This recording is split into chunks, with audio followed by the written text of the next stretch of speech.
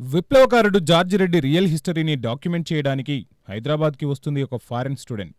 George Reddy friends క్లాస్మేట్స్ని వరుసగా కలుస్తూ George Reddy గతాన్ని క్షుణ్ణంగా తెలుసుకుంటూ ఉంటుంది. అరవై సంవత్సరాల క్రితం అప్పటి విద్యా సంస్థల్లో ఉండే కుల వివక్ష అగ్రవర్ణాల ఆధిపత్యం వంటి క్యాపిటలిజాన్ని సహించని జార్జి రెడ్డి విద్యార్థి హక్కుల కోసం ఎలాంటి పోరాటం చేశాడు? అంతిమంగా ఏం సాధించాడు? అసలు ఆ ఫారెన్ స్టూడెంట్కి జార్జ్ రెడ్డికి ఉన్న సంబంధం ఏంటన్నదే అసలు కదా ప్రేక్షకుడు ఏ సినిమాకొచ్చినా ఆ సినిమా హీరోలు తమని తాము వెతుక్కోవటం సహజం. ముఖ్యంగా జార్జిరెడ్డి లాంటి హై వోల్టేజ్ సినిమాలోని హీరోనైతే కంప్లీట్గా ఓన్ చేసుకుంటాడు ఆడియన్. జార్జిరెడ్డి సినిమాకున్న అతిపెద్ద ప్లస్ పాయింట్ కూడా ఇదే. సినిమా మొదలవకముందే జార్జిరెడ్డితో లవ్లో ఉంటాడు ఆడియన్. అతన్ని పీక్ లెవెల్లో ఇంప్రెస్ చేయకపోయినా పర్వాలేదు. కానీ కనీసం డిసప్పాయింట్ అవ్వకుండా చూసుకోవాలి. జీనా హేతో మర్నా సీకో ఖదం ఖదం ఫర్ లడ్నా సీకో లాంటి ఆవేశభరిత ట్రైలర్స్ చూసి జార్జిరెడ్డి కోసం థియేటర్లో కూర్చున్న ఆడియన్ మూడ్ ఎలా ఉంటుంది? అసలు ఈ జార్జిరెడ్డి ఎవరు?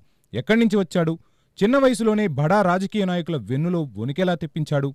ఆఖరికి జార్జిరెడ్డి ఏమైపోయాడు?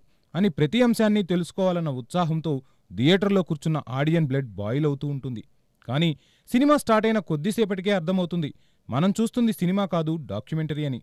సినిమా రన్ అవుతున్న కొద్దీ ఏ న్యూస్ పేపర్లోనూ లేక పుస్తకాల్లోనూ జార్జిరెడ్డి గురించి చదువుతున్నామా అని డౌట్ వచ్చేలా ఉంటుంది జార్జిరెడ్డి స్క్రీన్ ప్లే ఏమాత్రం డెప్త్ ఎమోషన్స్ లేకుండా పైపైనే కథను చెప్తూ సినిమాకు సరిపడా డ్రామాను డిజైన్ చేయటంలో ఘోరంగా ఫెయిల్ అయ్యాడు దర్శకుడు జీవన్ రెడ్డి.